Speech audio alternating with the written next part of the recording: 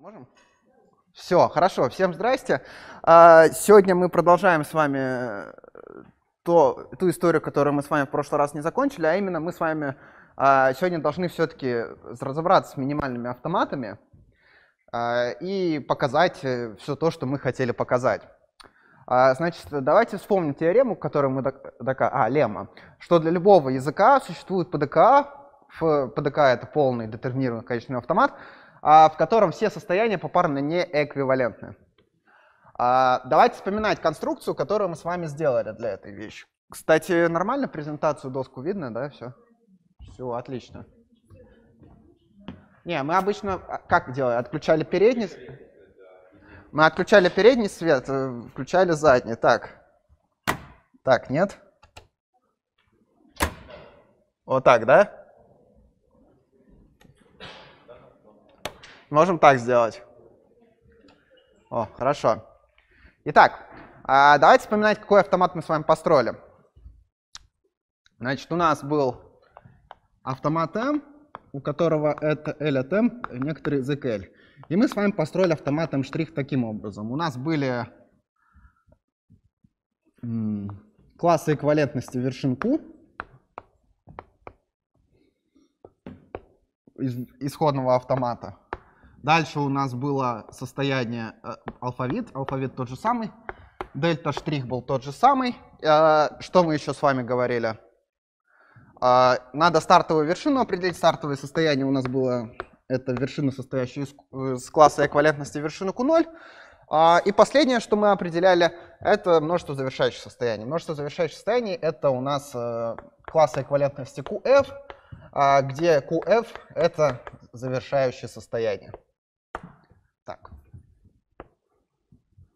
А, и мы с вами в прошлый раз показали, что этот автомат вообще корректно строится, а в нем все переходы согласованы, а в нем завершающие состояния корректно определены, распознаваемые языки совпадают. И давайте я открою этот слайд. И что нам... Так, сейчас. Давайте я как-нибудь это... Как эту штуку убрать? Надо мышку увести. Да, нам нужно доказать теперь что состояния в этом автомате попарно не эквивалентны. Да? Как это делается? Ну, нам нужно показать а, следующее. Вот давайте рассмотрим. Это не экви.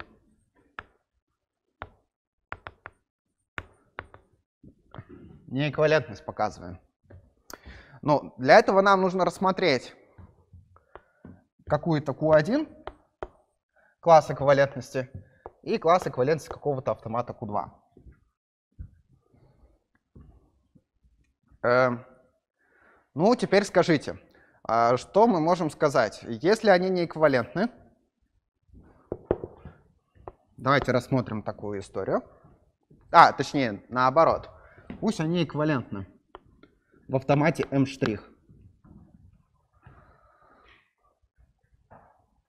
Тогда что мы можем сказать? Тогда мы можем сказать, что для любого слова W э, дельта в автомате m'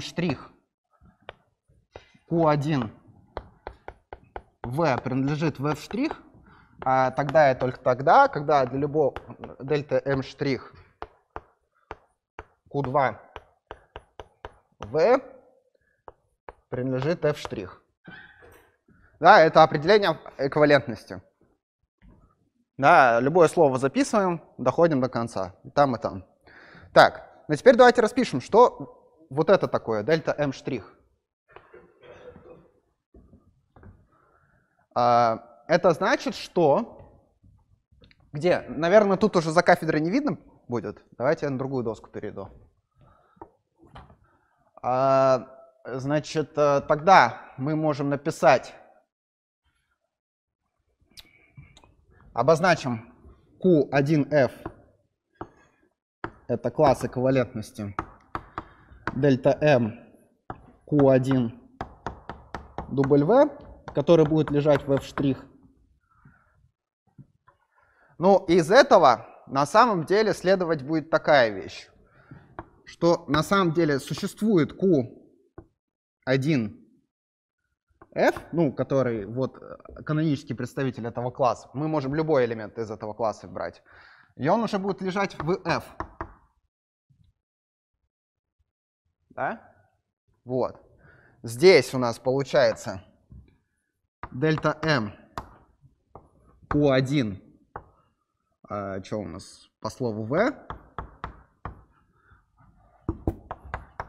будет равен q1f, принадлежащий f. Штрих.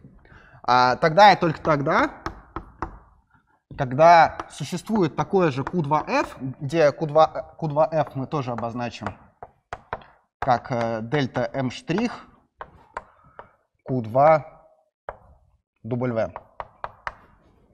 А, тогда у нас тоже будет существовать какой-то канонический класс из исходного автомата, а, в котором есть переходы,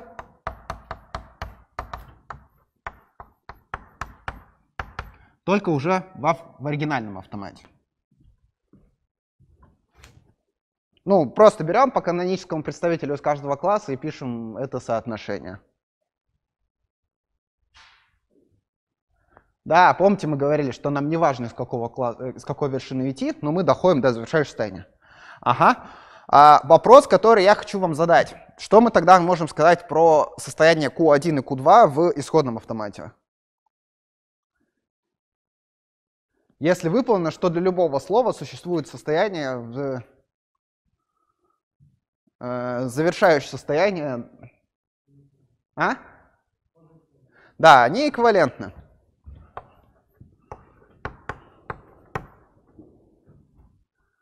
Уже в исходном автомате m. Ну а поскольку они эквивалентны, то они лежат в одном классе эквивалентности.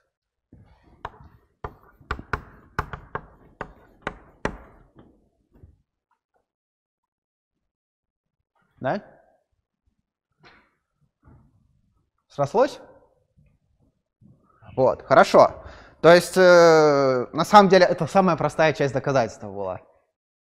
То есть, э, в прошлый раз мы, по сути, с вами готовили почву для того, чтобы сейчас это все достаточно просто доказать. Вот. Это, собственно, заканчивает доказательство нашей леммы, которую мы начинали в прошлый раз. А, есть ли вопросы? Давайте, задавайте, если ничего не понятно. Так, я на всякий случай тут это достану себе шпаргалочку, если что, буду в него подглядывать, не обессудьте. Так. Ага. Давайте дальше. А давайте теперь введем определение минимального ПДК, которое мы еще с вами не вводили. А, давайте введем, определим m как минимальный ПДК, это ПДК, в котором состо... количество состояний минимально. Вопрос. Что необходимо показать вот с точки зрения синтак... ну, русской син... как, семантики, семантики русского языка? Почему он называется минимальный ПДК, а не минимальный ЕПДК? Да, значит, нам нужно показать, что он единственный с точки, с точки зрения изоморфизма, что он вообще существует.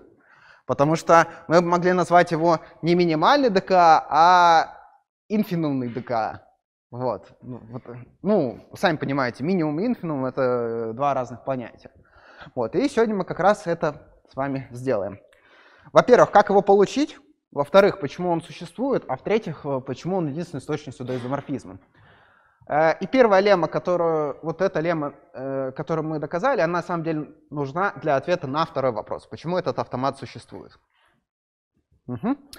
А потом мы докажем, что он единственный источник изоморфизма, а третье мы его получим. Итак, а, смотрите, давайте э, докажем теорему. Пусть m будет минимальным ПДК, распознает язык L, тогда и только тогда, когда любые два состояния попарно не эквивалентны, и все состояния достижимы из стартового. Вот такие два свойства. То есть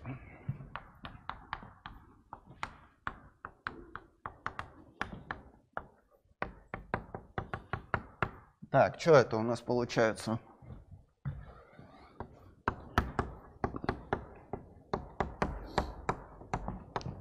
Q1 не эквивалентно Q2. А, и как это писать?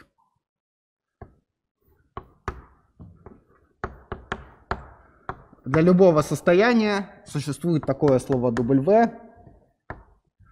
а, из э, сигма со звездой такое, что Q0W мы можем дойти до этого состояния. Это так пишется определение достижимости. Вот. И давайте докажем сегодня эту теорему. Она на самом деле э, несложная. А давайте подумаем, в какую сторону проще доказать.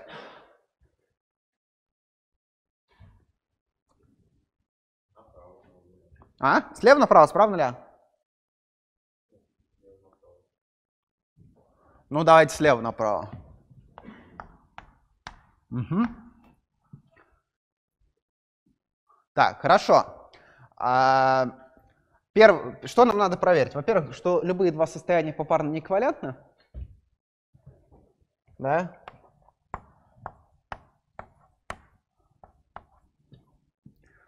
А, почему? Потому что если бы какие-то два состояния были бы эквивалентны, то что мы могли бы сделать? Да, то запусти предыдущий алгоритм и склей.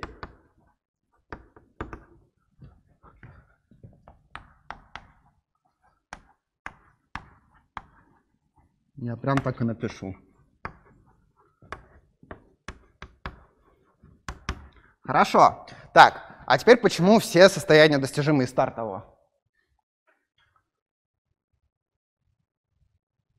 Что было бы, если бы у нас было бы какое-то состояние, которое недостижимо из старта? Да. Если есть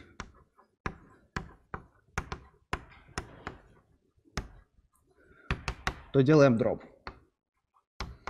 Ну, от этого можно формально показать, что множество слов, которые распознается языком, ну, автоматом оно не меняется.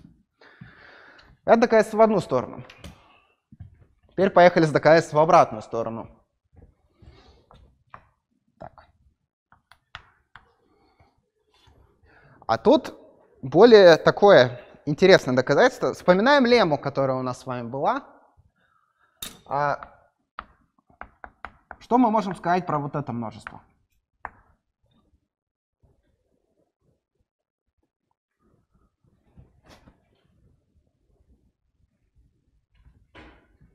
Мне кажется, про него лем, э, там это следствие из какой-то леммы или теоремы. Да, не больше, чем количество состояний в любом автомате.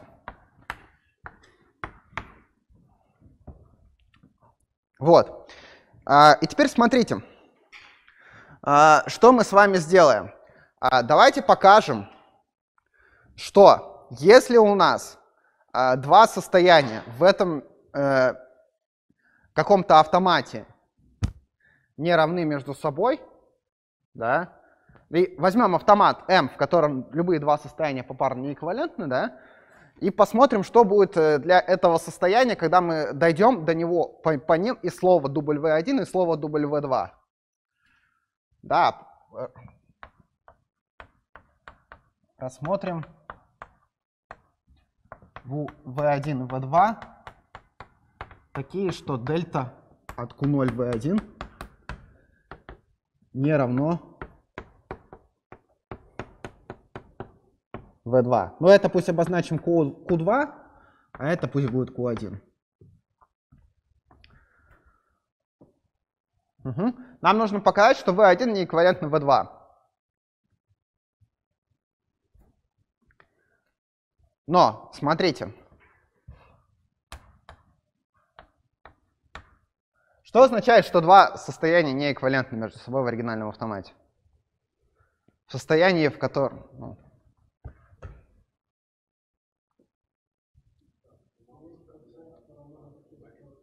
Да, значит, смотрите.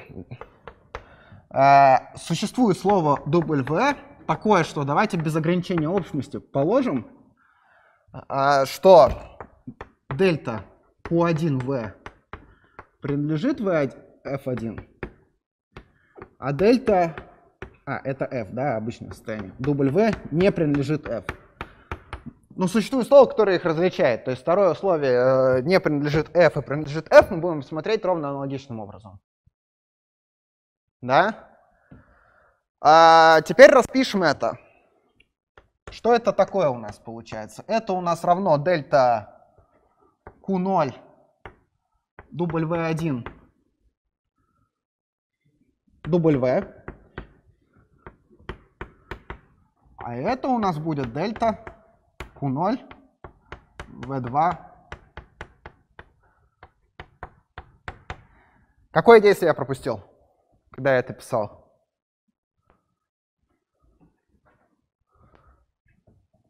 Вопрос на это, на понимание.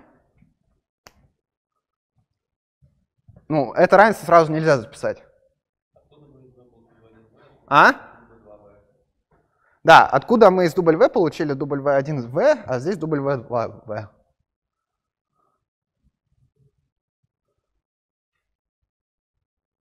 Какой, каким свойством мы воспользовались для дельта? Да, мы воспользовались э, транзитивностью для дельты, да. Когда сказали, что Q1 это дельта Q0 W1, э, подставляем сюда V, по транзитивности получаем W1 W. Угу. А это чему равносильно? Это равносильно тому, что W1 W лежит в языке, а это равносильно тому, что W2 W не лежит в этом же языке. Ага. И какой вывод из этого мы можем сделать? Что у нас есть два слова, э, приписывая к нему справа какой-то конец, одно лежит в языке, другое не лежит в языке.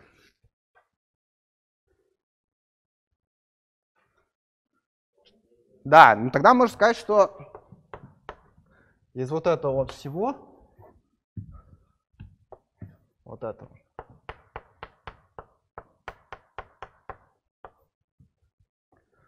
Да, то есть смотрите, мы берем два неэквивалентных, любые два состояния, поскольку у нас автомат э, с попарно неэквивалентными состояниями, то это просто два разных состояния. Вот, и получаем, что у нас находятся попарно неэквивалентные слова. И тогда для нашего автомата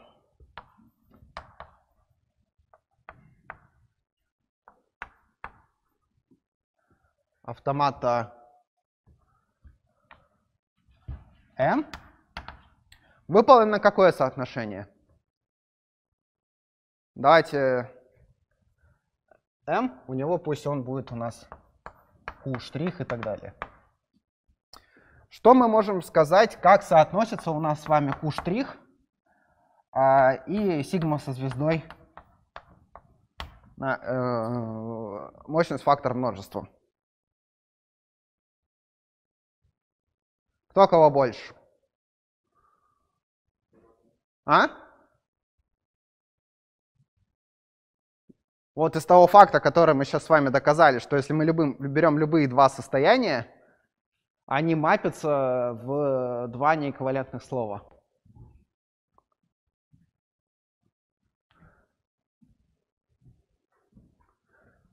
Может ли быть такое, что вот эта история будет больше, чем вот это?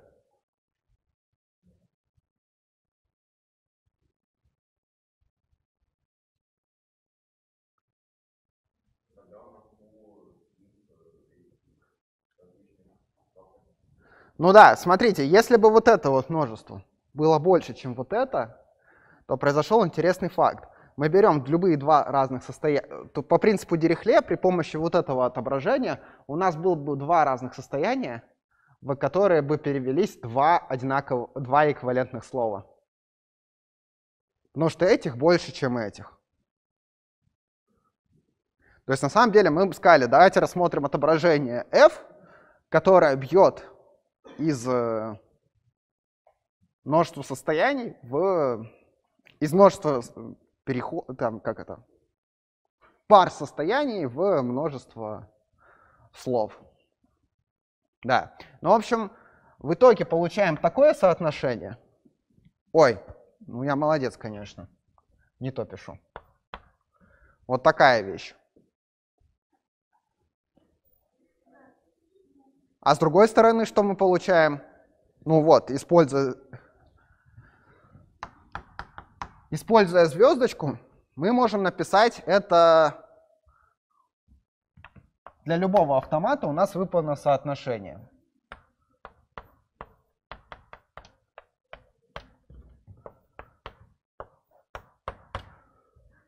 Угу. Какой вывод из этого можем сделать?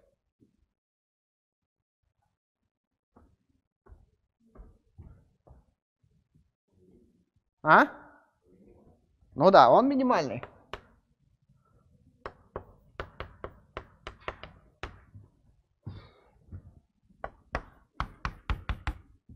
Ну все, доказали.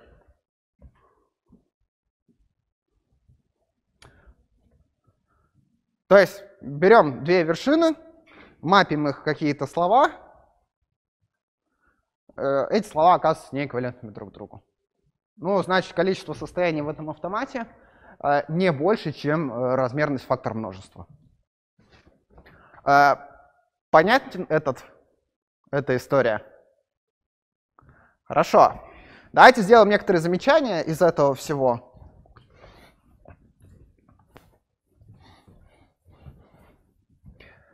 Как соотносятся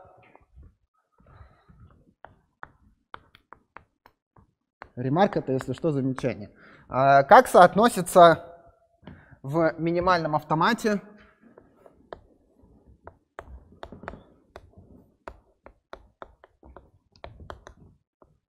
А, так, не то. Вот эти множества.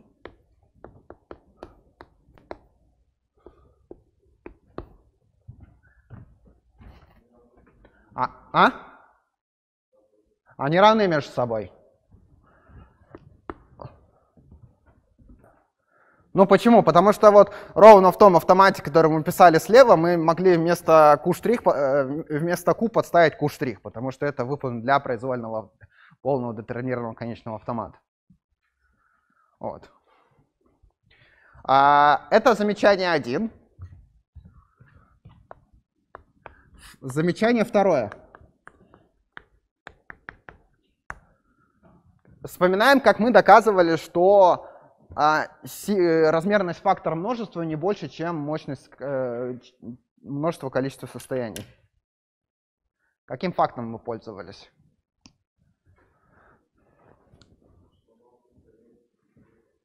Да, что сигма со звездой, если у нас есть U, принадлежащие сигма со звездой L, то U представляется в виде объединения каких-то LQ. Да, помните, было такое, где LQ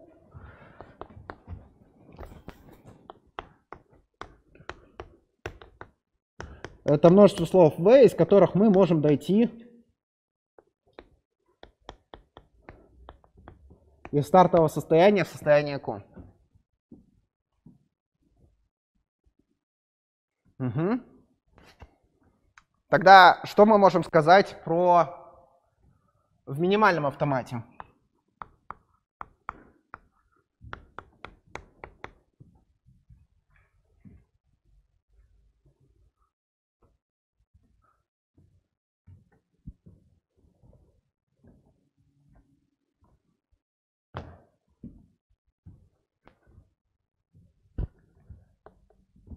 Что мы можем сказать про вот это квантор объединения?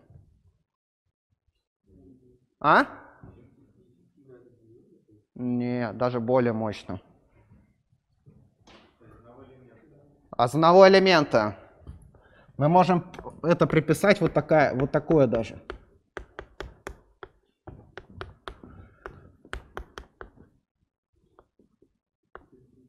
А? Да.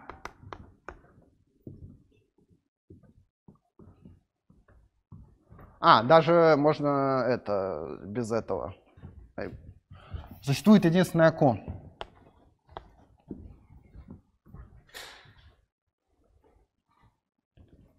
Вот. Зачем это, зачем это нам нужно?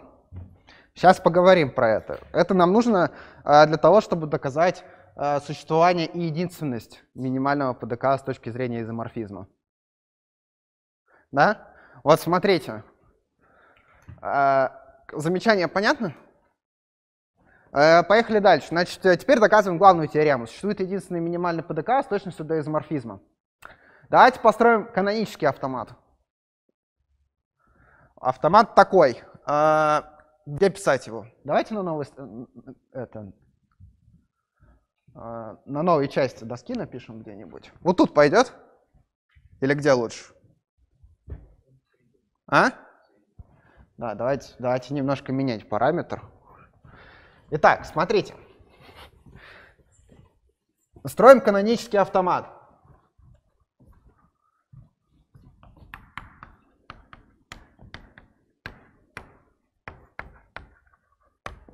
МПДК.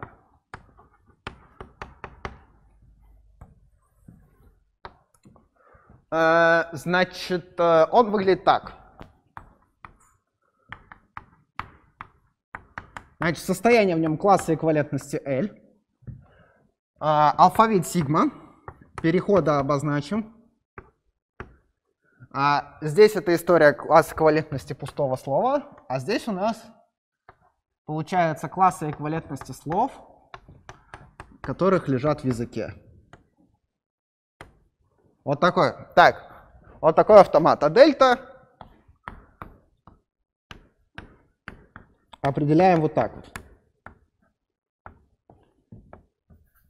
Класс эквивалентности УА.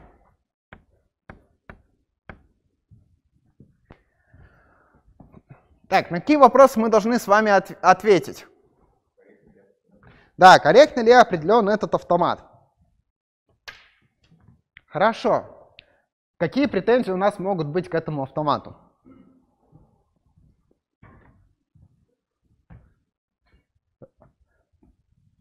Здесь у нас есть претензия?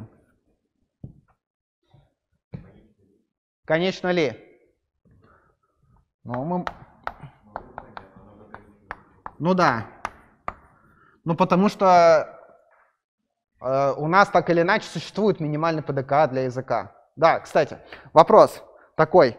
Э, вот это, понятно ли, что вот доказательства предыдущих двух фактов по сути доказывают существование минимального ПДК? То есть мы построили, смотрите, для любого ПДК у нас существует э, ПДК, в котором состояние попарно неэквивалентны, а мы доказали, что э, э, МПДК, в котором состояние попарно неэквивалентно, является минимальным. Да, то есть тут две логических цепочки. То есть МПДК у нас всегда существует. Вот. Вот это мощность этого множества меньше, чем бесконечность, потому что она ограничена сверху для, э, количеством состояний для какого-то минимального ПДК. Угу. Дальше, что нам нужно показать? Стартовое состояние класса эквивалентности пустого слова. Ну, тоже логично. Так, теперь нам нужно определить, что еще нам нужно тут показать.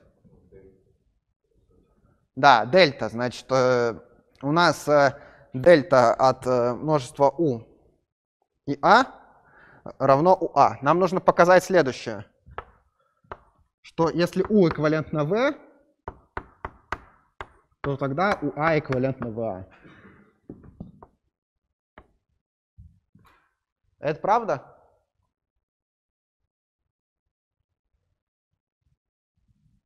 Скажите мне. Ну, хорошо. Ну, на самом деле это легко проверяется. y эквивалентно va тогда только тогда, когда для любого слова w uav принадлежит языку, тогда и только тогда, когда v а w лежит в языке.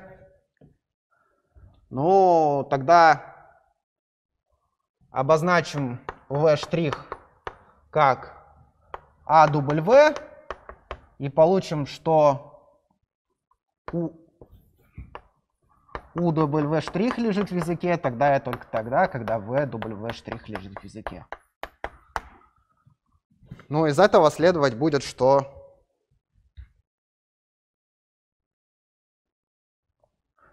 у А будет эквивалентно в А, потому что для любого слова W нам просто нужно из этого слова ну, выбрать подмножество слов, которые начинаются на букву А.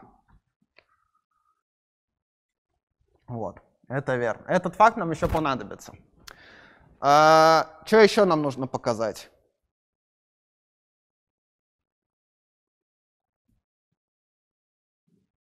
Вроде все. Ну, еще нужно показать, что если U эквивалентно... Да, еще один факт. А, если U эквивалентно V, а U лежит в языке,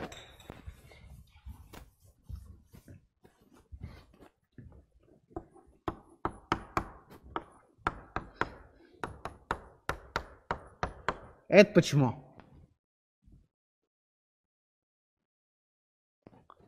Какое нам слово W нужно в конец приписать, чтобы это получить?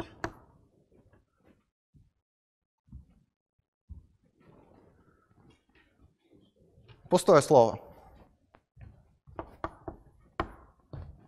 Ну тогда получается, что U лежит в языке, и тогда V лежит в языке. Вроде теперь показали эту, эту всю каноническую историю. А, и теперь построим с вами для всей этой истории канонический изоморфизм.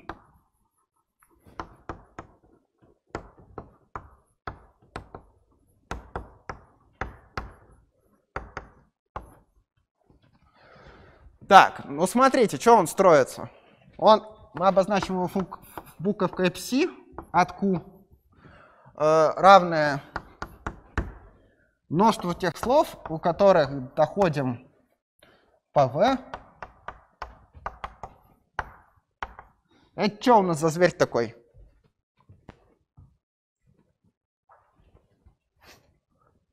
Как мы его уже обозначали?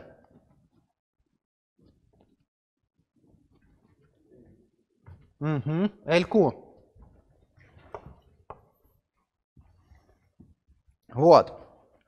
И на самом деле из второго замечания, которое мы с вами сделали, а, следует, во-первых, что фи это отображение.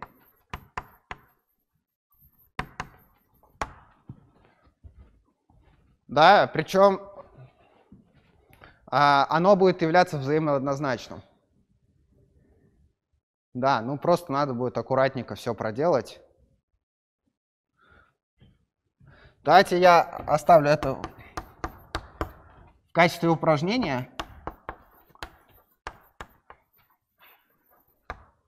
А, можно будет показать, что пси является биекцией. Да, это, если что, делается из вот того отношения, которое мы уже с вами строили.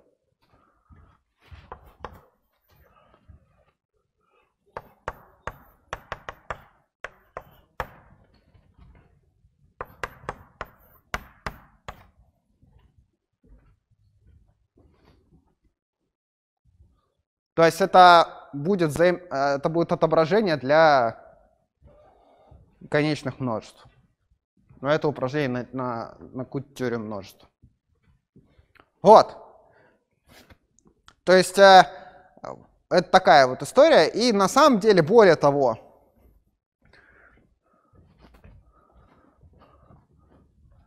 можно показать, что это пси будет являться изоморфизмом э, между автоматами как графами.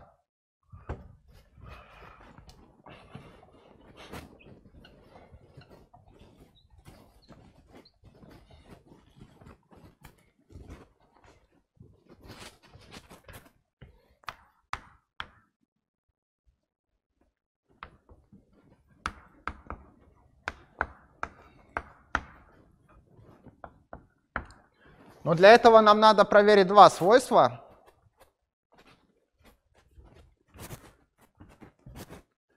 А, первое, оно заключается в том, что если мы возьмем дельта от э,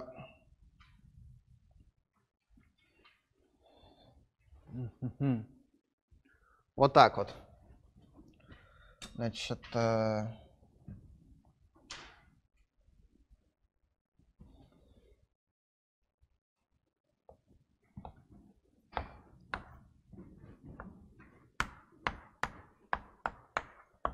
То есть берем какое-то состояние Q, отображаем его э, изоморфизмом, переходим по ребру, получаем вот такое вот соотношение.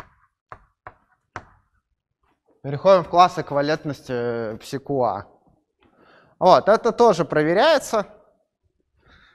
Э, и еще мы можем сказать, э, ну и нужно проверить еще согласование завершающих состояний.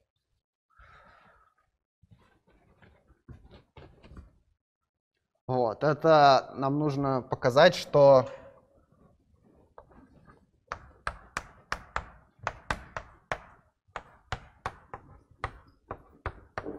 вот такое вот соотношение тоже выполнено. Будем проверять?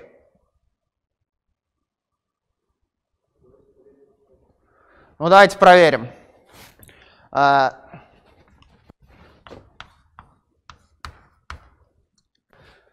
Угу. Хорошо. Значит, э, давайте... Пред... Так, первое проверяем. Значит, э, пси q. Пусть пси первая q это класс эквивалентности какой-то u.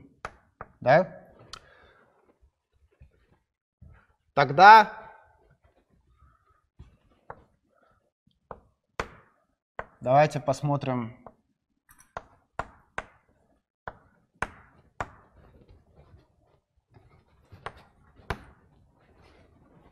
Что это такое у нас с вами?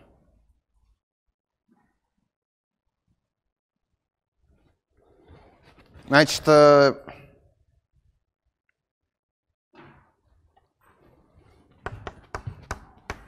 это множество всех слов, класс эквивалентности всех слов, которые переходят из старта в вершине, проходят до W, доходят до какого-то состояния Q. И дальше мы делаем переход по букве А для всех этих слов. Да? Ну, теперь, значит, что мы можем сделать? мы можем на самом деле э, сказать, что мы можем пройти по букве А, сделать дополнительный переход. То есть у нас, давайте картинку нарисую, чтобы было понятно. То есть у нас Q0 есть, мы по слову W прошли до какой-то вершины Q, и дальше еще проходим переход по букве А.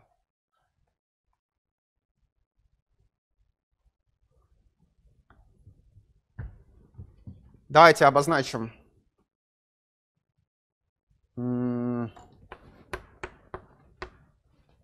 дельта Q А, Q. И тогда мы это можем расписать как дельта, точнее множество тех слов, v штрих равное WA, из которых мы можем дойти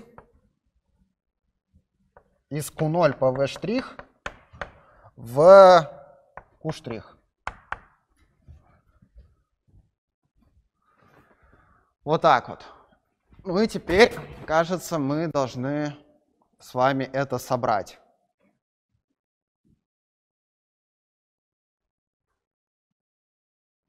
Как мы это можем собрать?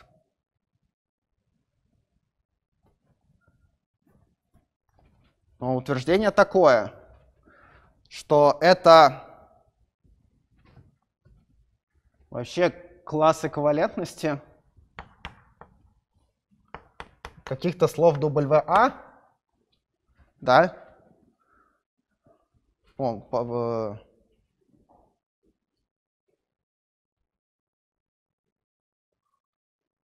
Да, сейчас, секунду. Вот. А что такое при этом фиат Q'?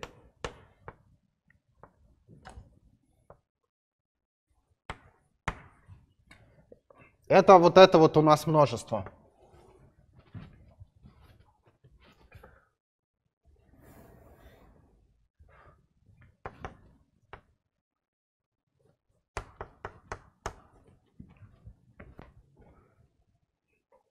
Вот так вот. То есть это у нас получается вот такой вот интересный класс. Что, понятно или нет? Или вообще туго? А?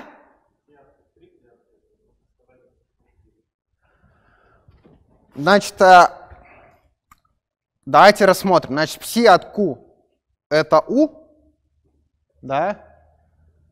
А пси от q' штрих это это некоторые тоже классы. Давайте вот так обозначим, что кси от q' штрих это какой-то u штрих. Да, и по сути, что нам надо показать?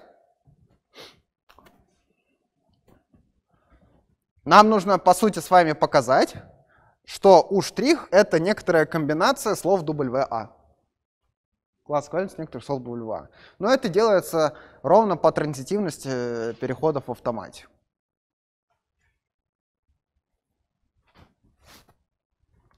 Вот. Давайте сейчас еще покажем вот эту вот штуку.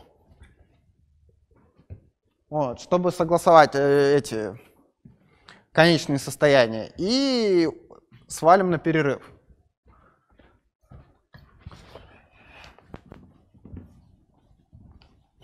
Так, смотрите. Значит, у нас второй факт.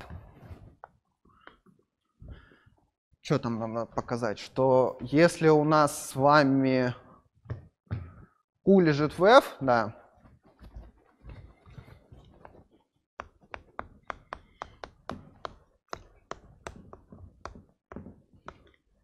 Вот так вот. Ну, давайте смотреть. Ну, в одну сторону. Q лежит в Значит, э, пси-Q это множество тех слов, а, которые у нас из стартового состояния по W доходят до Q. Да, но поскольку Q у нас с вами лежит в завершающем состоянии, то все эти наборы э, распознаются нашим языком. Да? Ну и получается, что это является подмножеством L. Дальше. А, если мы в обратную сторону, давайте прокрутим. Все от Q это множество тех слов, которые доходят до какого-то состояния Q. И каждый, этих слов, каждый из этих слов лежит в языке, да, то, наверное, состояние, до которого мы дошли, является завершающим. Потому что очень странно не заканчивать наше слово, заверша... не, за... не доходить до завершающего состояния и распознавать это слово.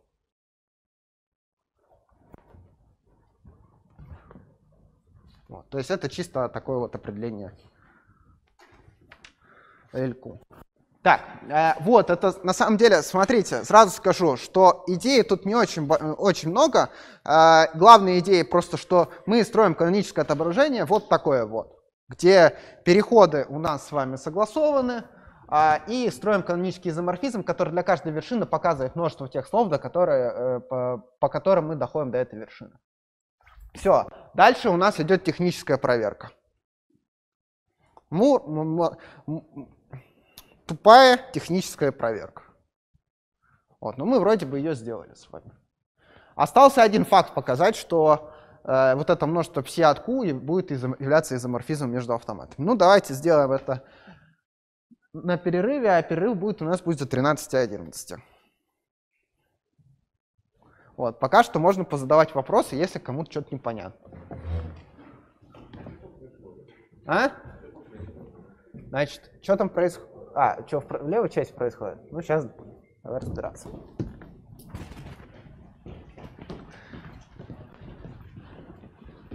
Значит, мы хотим показать, что эта штука изоморфизм. Да? Что это значит? Это значит, что у нас должны быть э, переходы в одном автомате перейти в переход в другом автомате, да? Да. А второй пункт это то, что у нас э, завершающее состояние во втором, во втором, в одном автомате переходит завершающее состояние в втором автомате. Да? То есть э, получается второе, что пси от q это множество тех слов, это ровно должно быть множество классов, какой-то класс эквивалентности э, слов, которые лежит в языке. Ну да, то есть это, поскольку теперь это класс эквивалентности, да, то он должен Он уже не сам лежит в языке, а является подмножеством этого языка. Вот. Это первое. Ну, э, дальше вот второй факт, он достаточно простой. Мы просто смотрим, когда вершина... Да. Давайте соображать. Значит, у нас... Может, картинку нарисовать? Впервые еще пообсуждали более детально тонкости формулы. А теперь смотрите, что э, у нас есть один автомат, который канонич... у которого есть канонический изоморфизм в канонический автомат. Есть второй автомат, у которого тоже будет канонический изоморфизм в канонический автомат. Вопрос, как доказать, что эти два автомата изоморфны? Ну да, вот смотрите, сейчас идею как раз нарисую. Вот у вас есть автомат М1, у вас есть отображение psi1, которое рису... Э, его переводит в какой-то канонический M0. Есть автомат M2, который каноническим изоморфизмом phi2 переводит его тоже в M0. Вопрос, как перевести, при помощи какого преобразования перевести M1 в M2?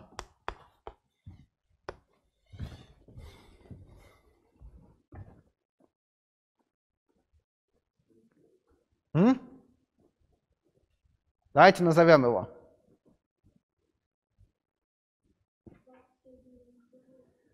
Так, ну смотрите, да, начало psi1 переводим в m0.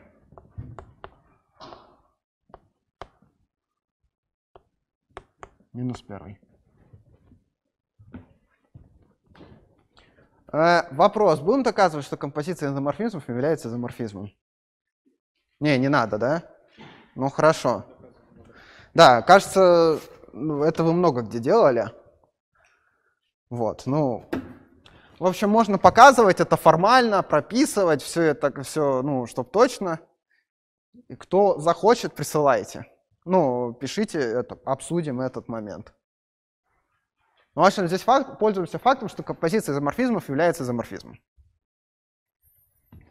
Ну вот и все. То есть э, э, вся эта история как раз нужна была для того, чтобы построить канонический изоморфизм. То есть интересная особенность, давайте э, просуммируем.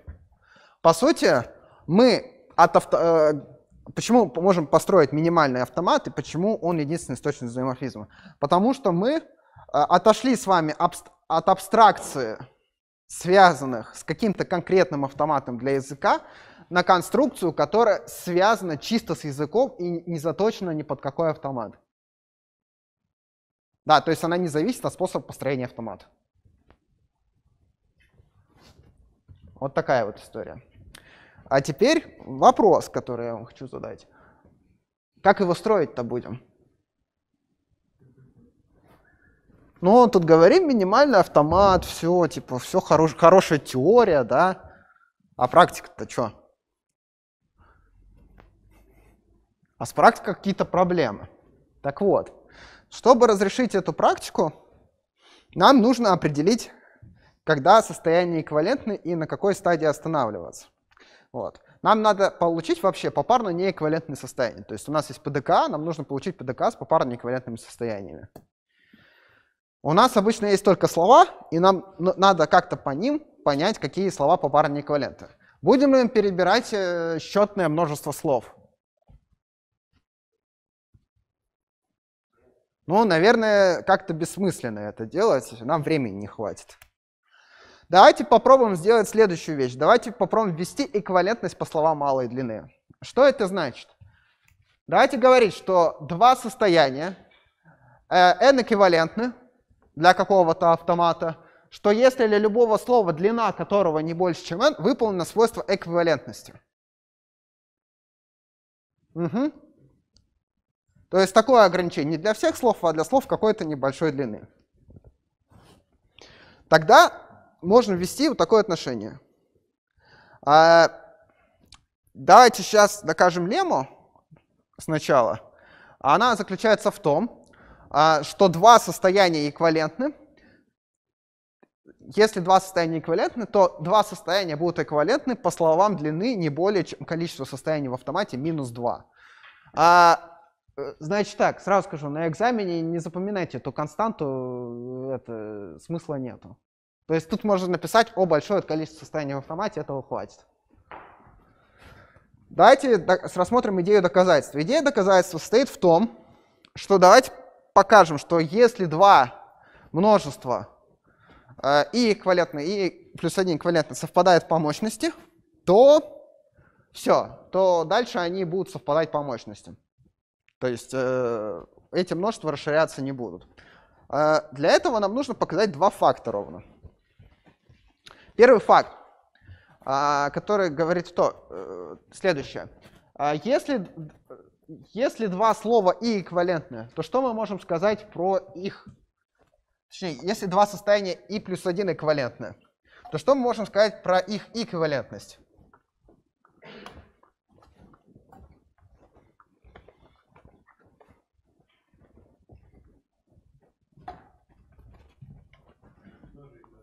Да, если Q1 эквивалентно... Как мы сверху, снизу там пишем? Q2 и плюс 1 эквивалентно, то они будут и эквивалент. И, и эквивалент. Ну а почему? Потому что здесь слова у нас длины не больше, чем и плюс 1, а здесь слова не больше, чем длины и. Вот, тогда скажите, пожалуйста, как у нас обычно связаны вот, вот эти два множества?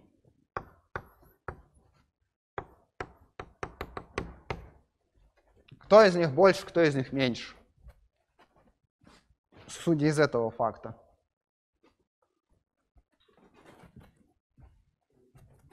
Левое больше или правое больше?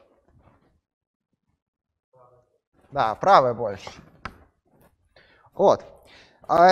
И смотрите, значит, что нам надо показать? А, то есть у нас получается послед... последовательность этих чисел является не, не убывающей. То есть она либо такая, либо возрастает. Разрастаться до бесконечности она не может. Да, потому что сверху у нас э, есть вот такое вот, вот такое множество. Да, оно у нас конечное. Вот. Осталось показать, на каком моменте нам надо останавливаться. Да? Утверждение. А, первое, что говорит утверждение? Что пока у нас классы разбиваются между собой, а, мы двигаемся. Если у нас классы не разобьются между собой, то есть у нас есть класс, и от перехода и к и плюс 1 у нас не, не происходит разбиение на классы, то все, можно останавливать комедию. Вот, собственно, это нам нужно показать. Допустим, у нас Q ит равно Q и плюс 1. Тогда нам надо показать.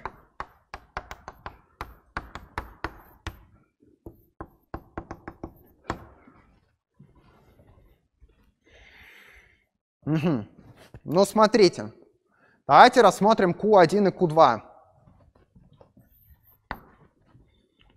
Которые, когда у, нас, э, когда у нас произойдет разбиение на классы, то есть у нас есть две вершинки, а, которые не и плюс 2 эквивалентны, но когда они у нас и плюс 1 эквивалентны.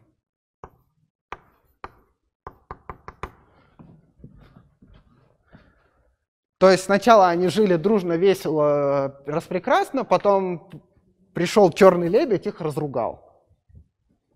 Вот, давайте поймем, почему такого быть не может. Значит, что вот это вот означает?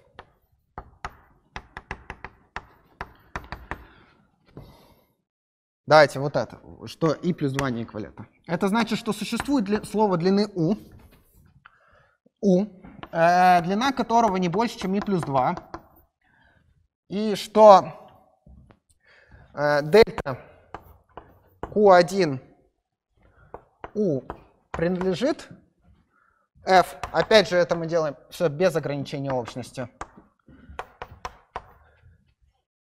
А дельта Q2U не принадлежит F. То есть в одном мы пришли завершающее состояние, в другом не пришли завершающее состояние. Ну тогда что мы можем сказать? Давайте положим U это какое-то А дубль В.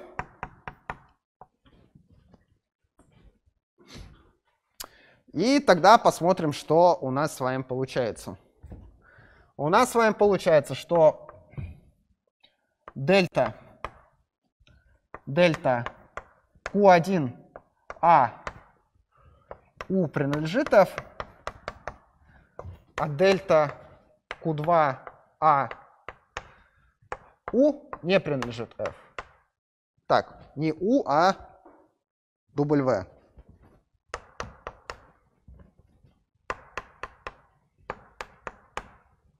При этом у нас слово, длина слова W уже становится на единичку меньше.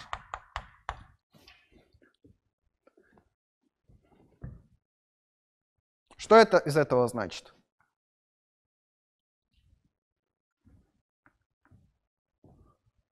Смотрите,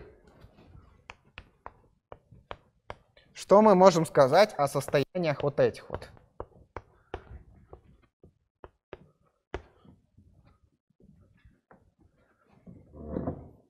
То есть, смотрите, берем два состояния, проходим по букве, смотрим на их эквиваленцию. Они эквивалентны? И плюс 1 эквивалентны они? А? Нет, они не эквивалентны, потому что у них существует слово длины и, длины и плюс 1, которое их различает. Угу.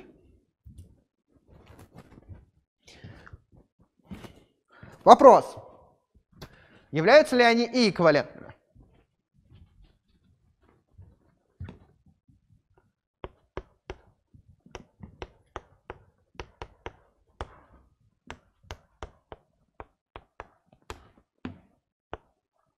Как говорится, быть или не быть, вот в чем вопрос.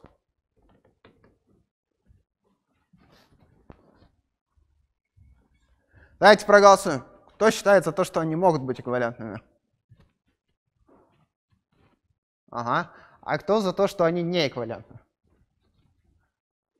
Так, один-один. Ну, хорошо. Смотрите.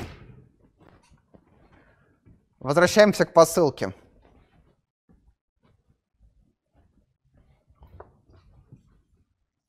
Что вот это значит?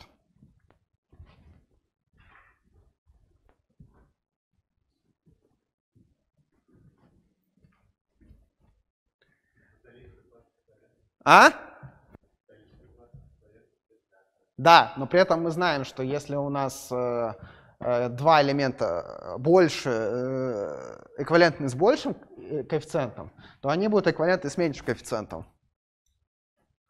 Вот это условие означает следующее, что если у нас два состояния были эквивалентными, то они будут и плюс один эквивалентными.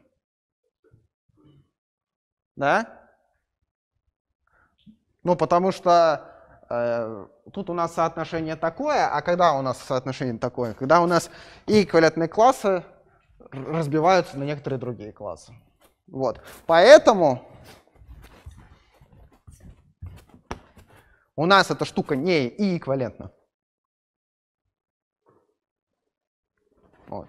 Возвращаемся обратно. То есть у нас существуют слова, которые различают дельта Q1А и дельта Q2А. Ну, из этого на самом деле следует, что если вернемся на состояние предыдущему, то у нас здесь вместо коэффициента i, где слова длины не больше, чем i, они перейдут сюда в слова длины не больше, чем i плюс 1.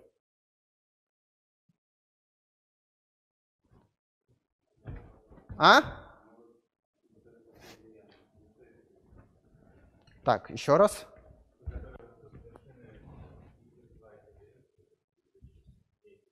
Да. Да. А мы доказываем, что такого быть не может.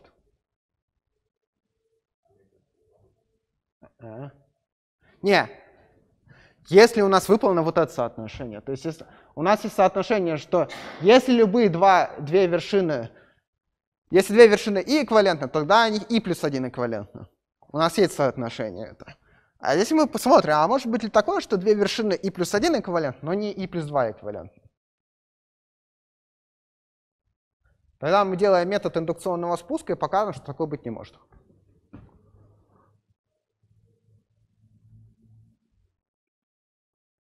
То есть, давайте вот это вот напишу, чтобы было понятно. Что вот эта вот штука значит? Это значит, что для любых Q1 и Q2 такие, что они и эквивалентны, будет следовать, что Q1 и плюс 1 эквивалентно Q2. Вот это вот, вот это значит.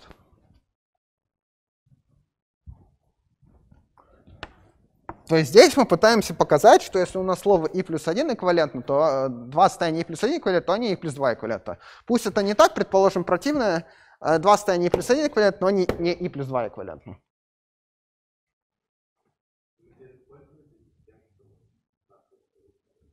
Что, что пользовались?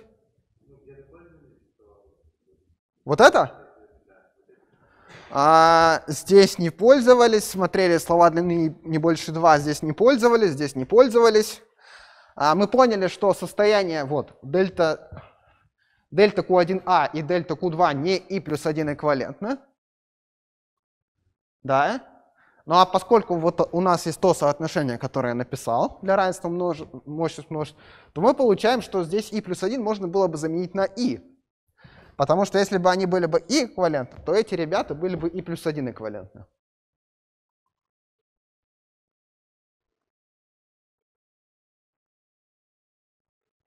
Получили противоречие. Вот с, вот с этим вот каноническим. То есть пишем вот то соотношение, вот здесь вот, для вот этой штуки и вот этой штуки. Приводим противоречие, но получается, что поскольку эти ребята не эквивалентны, то эти ребята будут не и плюс 1 эквивалентны.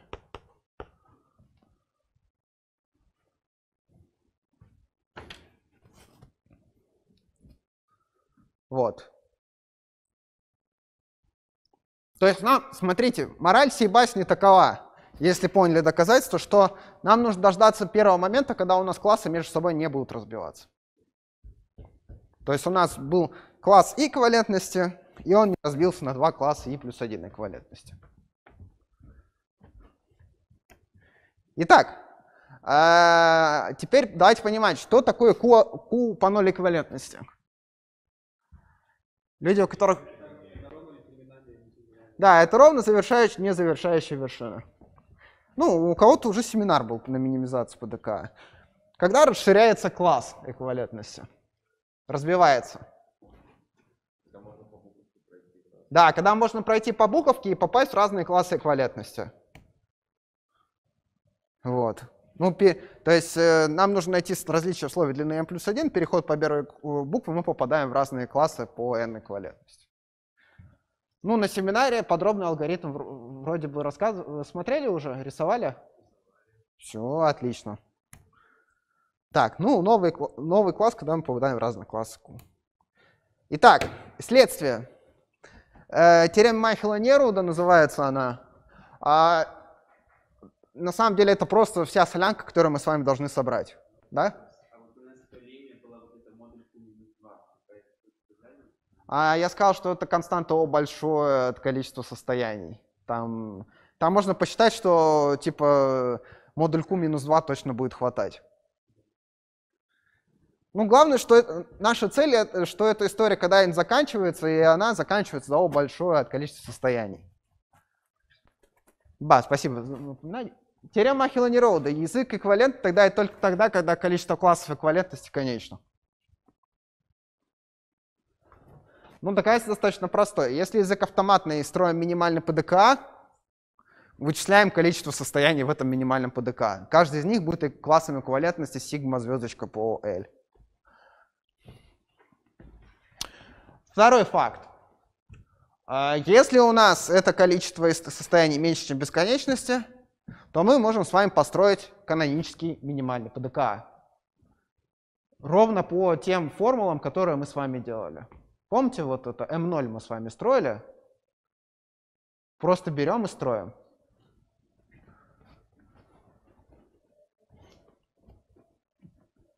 Понятно, почему эта лемма теперь, э, эта теорема, которая называется, она важная, но ее доказательство достаточно простое, когда мы ввели весь этот математический аппарат.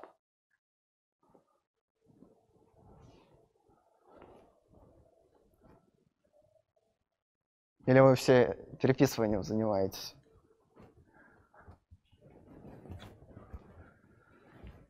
Угу. Вопрос. Давайте, пока вы э, дописываете. Вопрос такой. Э, как при помощи этой штуки можно проверить, что язык не является автоматным?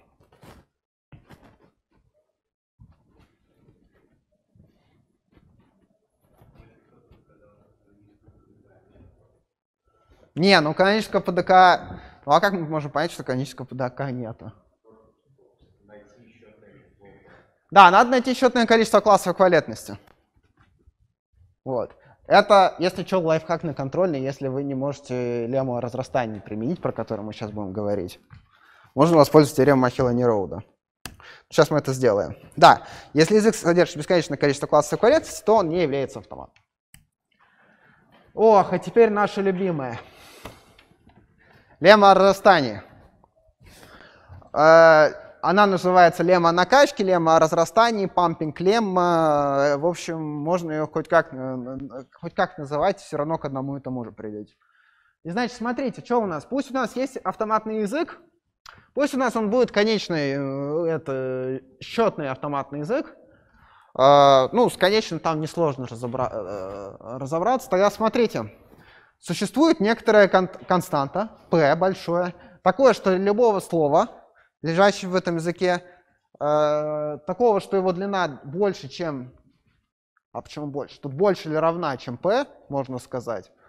Существует разбиение слова w на три куска x, y, z, таких, что длина x, y не больше, чем p, начало не очень большое, эм, y не пустое, и такое, что для любого k из натуральных x, y в k лежит в языке.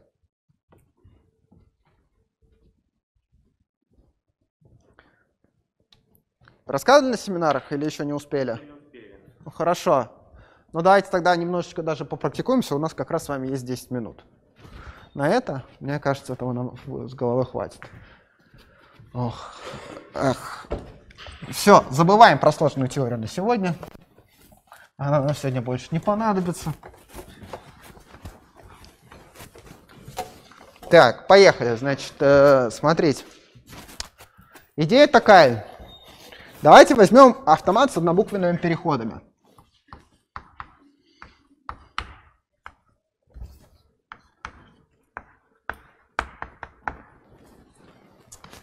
Получились базисные пункты. Ну да ладно. А, так, Теперь смотрите, возьмем P, количество состояний в автомате. Тогда, если длина слова больше равна, чем дубль P, то что мы можем сказать с вами?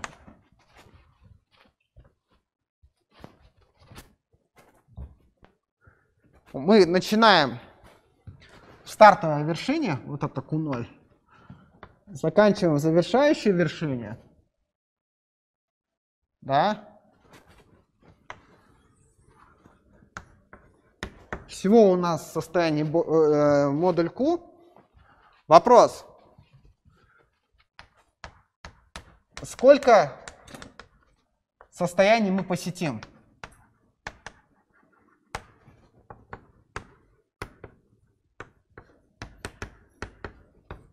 С повторениями.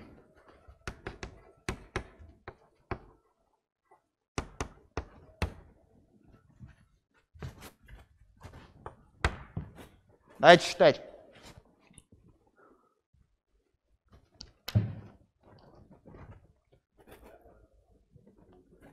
Нет, давайте вот у нас, у нас есть слово длины, э, у него какая-то длина.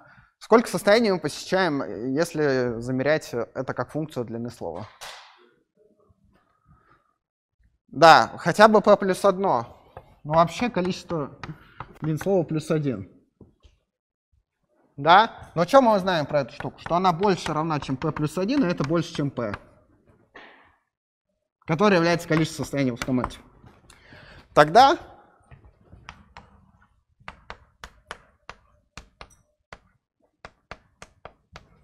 по принципу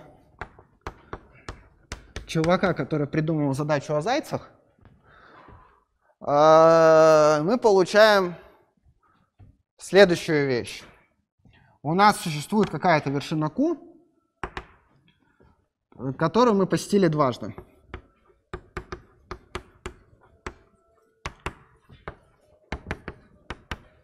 Ну давайте теперь эту вершину как раз с вами и обработаем.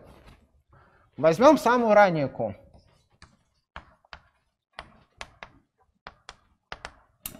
Первое пересечение.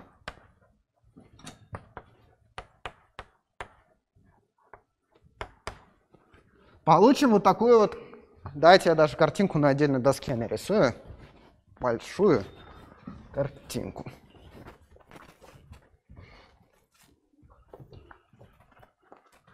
Итак, смотрите. Вот она вершина Q0, вот она наша вершина Q, о которой мы говорили. Это пусть QF.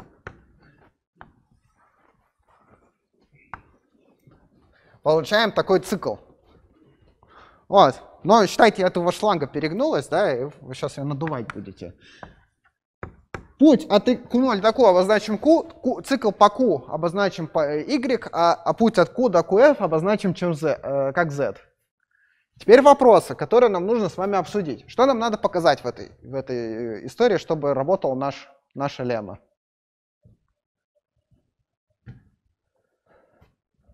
Какие условия нам надо проверить?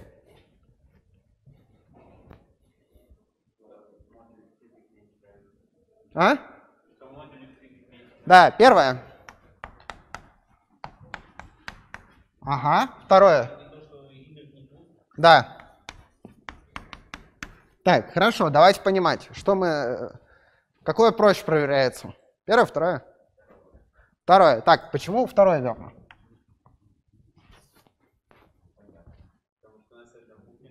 Да, так автомат с однобуквенными переходами.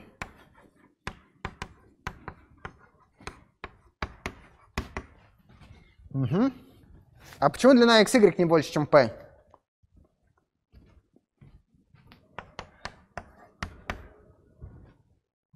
Вот это самая интересная вещь в этом доказательстве.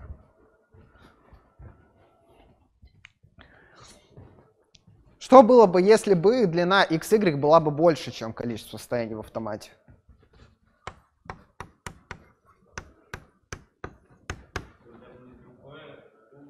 Тогда бы в xy нашелся цикл, и Q не первое пересечение.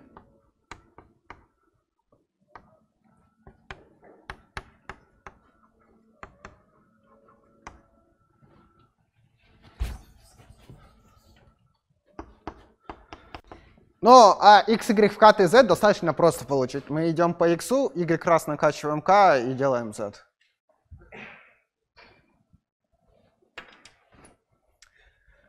Вот такая вот доказательство. История. Значит, как это использовать? А, как показать, что язык не является автоматным? Да, надо применить отрицание лемма разостания. Давайте его напишем.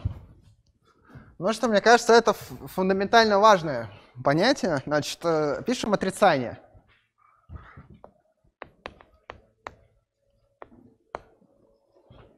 Погнали. Эй, эй, эй, ты что? Э, ты не вырубайся раньше времени. Поехали, пишем. Диктуйте. Ага.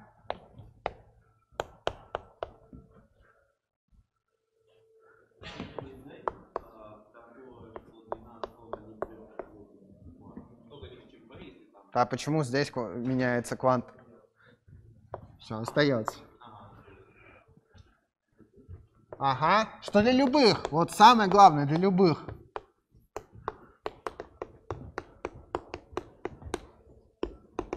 Все условия остаются.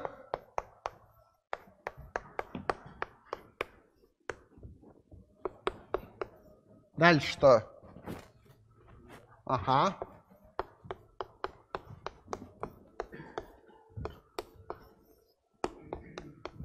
Тут что? Лежит. Подчеркну для любого. То есть берете, просматриваете произвольное P, ищете слово достаточно большой длины, лома, э, показываете, что, ну, берете у него начало хорошее, То есть его так, чтобы у вас начало было хорошее, не большей длины, зашиваете туда какие-то свойства и потом подбираете как, который ломает этот язык. Вот. И давайте рассмотрим вот такой вот язык, авенный бвенный. А давайте начнем с того, как он доказывается через теорему Майхела Нероуда, потому что, если что, на семинаре вы разберете, как он доказывается через лемма накачки. Итак, скажите мне, пожалуйста, какие классы эквивалентности мы можем взять? Давайте рассмотрим слово авенный. Авенный и авемтой, где n не равно m. Что мы можем сказать про эквивалентность?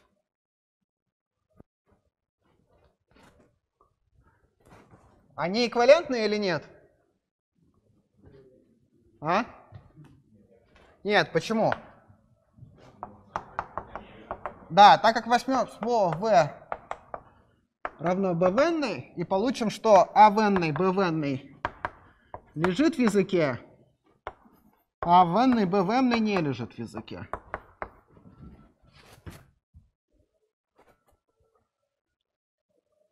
Да, то есть берем справа, дописываем. Так, что я не... Ой, не то написал, да? Да, не то. А вентый, бвентый. То есть нашлось слово, которое их различает. И это получается из этого, что количество классовой эквивалентности как минимум сколько? Ага.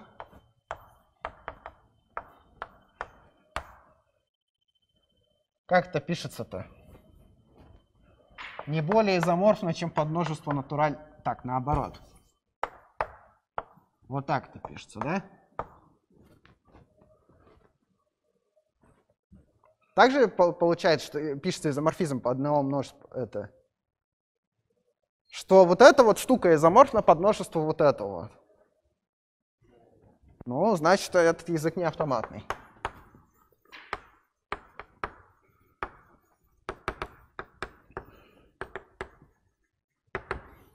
Так, э, вот это понятно? Э, полемия разрастания будем смотреть? Да, давайте напишем. Значит, э, опять же, э, смотрим фиксированное P.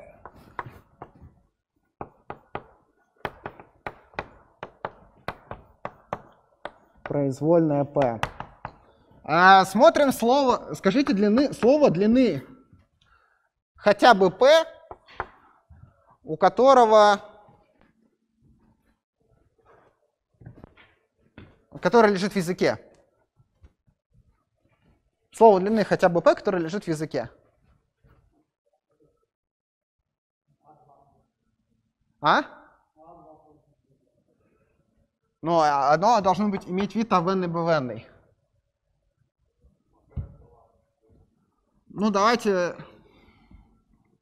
Да, давайте вот такой рассмотрим. Хотя это сложный пример.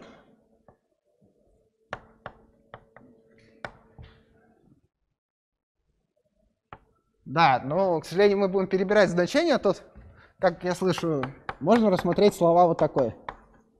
А в пэтой, в пэтой. Да, тут проще. А, значит, смотрите. Давайте все-таки АФП и БФ перед рассмотрим, потому что иначе мы заколебемся. Значит, смотрим. Рассмотрим разбиение W на XYZ, где длина XY не больше, чем P, а Y не пустое. Тогда скажите, что мы можем сказать про Y из этого свойства. Да, тогда y это точно a в какой-то степени l. Поскольку x находятся левее, чем y, то x это a в степени m.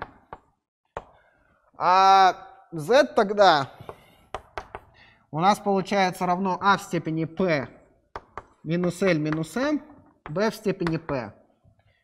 Ну и тогда и возьмем слово X, я не знаю, давайте для прикола возьмем слово X, XZ. Потому что мы по этому циклу можем пройтись не... Когда доказательства пишем, там K не натуральное, а можно сказать, что оно будет натуральное с нулем. Ну, просто по циклу не пройдемся. Ну и тогда это слово у нас будет а в степени L на а в степени p минус L минус m на b в степени p. А это у нас получается а в степени p минус m на b в p. Ну, осталось заметить, так как m больше нуля, то p минус m не равно p. Но из этого следовать будет что у нас с вами? Что xz не лежит в L. Ну, это приводит к тому, что у нас язык является с вами автом... не, не является автоматным. Фух, в общем, получилось так, что у нас одна лекция растянулась на две, но зато более-менее мы формально все переходы обсудили. Это, мне кажется, более важным, чем скипнуть какие-то моменты. Вот, два доказательства. Но вот то, что мы поняли за эти две лекции, что минимальный ПДК существует единственный, как его построить, и вообще как язык, что, э, как понимать, что язык не является автоматным. Чтобы понимать, что будет в следующий раз, а, мы с вами будем расширять нашу конструкцию, вообще посмотрим иерархию того, где у нас находятся автоматы а, в этой всей истории, а, и введем новый класс конструкции над формальными языками.